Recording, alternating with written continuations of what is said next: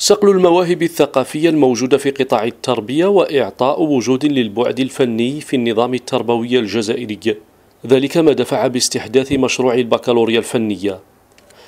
اتفاقية إطار أبرمت بين قطاعي التربية والثقافة لتجسيد هذه البكالوريا التي تم عرضها خلال مجلس الوزراء السنة الماضية. إمضاء آه، اتفاقية إطار بخصوص البكالوريا الفنية التي أقرها السيد رئيس الجمهورية السيد عبد المجيد تبون والتي آه، تهدف إلى صقل المواهب الموجودة في قطاع التربية الوطنية وكذلك ترقية البعد الفني وإعطائه وجود في النظام التربوي الجزائري وكذلك التحضير آه، للمستقبل إلى لتسمين ما يعج به القطاع من قدرات فنية وصقلها تقوية التربية الفنية في الوسط التربوي يأتي من خلال تكوين بيداغوجي في المجال الفني تكوين يساعد التلاميذ المتمدرسين على اكتشاف مواهبهم ويسهل اختياراتهم الدراسية.